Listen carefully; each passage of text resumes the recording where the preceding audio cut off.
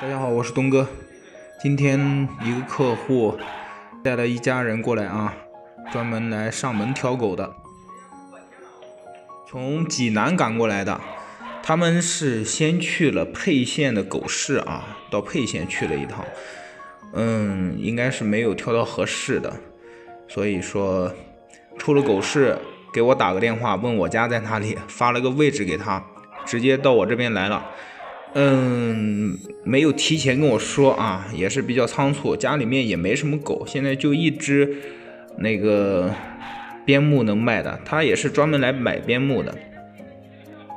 这个客户是济南的，加了微信也就问过一次边牧，后来就再也没有联系了。今天突然给我打电话说要上门来看看。本来我是不想让他来的。第一个是我家里现在确实也没什么狗可以卖，呃，也就一只小边牧了，而且还是人家已经预定过的，预定过了。但是那个客户，嗯，有点模棱两可的，到底要还是不要，他还没有确定下来，嗯，所以说也不一定能够卖给他。另外呢，其他的都是人家预定过的。再一个就是他从狗市出来的，说实话啊，你从狗市来的，你不想让他进我家，我家里面那么多狗，谁知道他到狗市里面是吧？会不会带点什么病毒啊，什么东西的过来？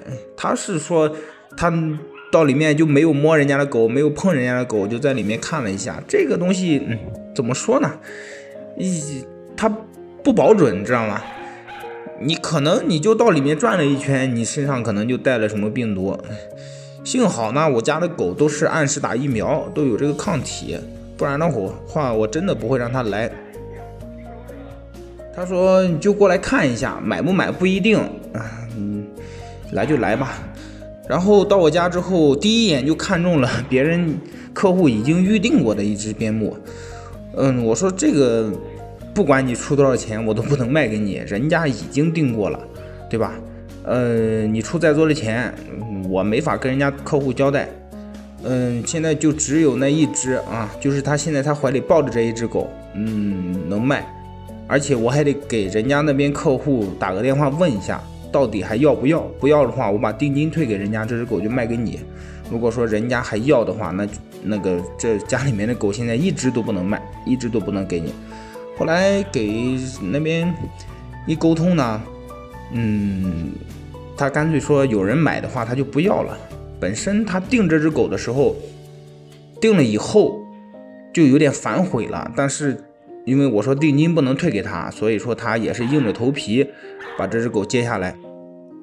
但是现在有人愿意买，我还能把定金退给他的话，他就无所谓了。所以说。就这只小狗卖给这个大哥了，嗯，另外把之前人家客户定的就定金就退给人家了。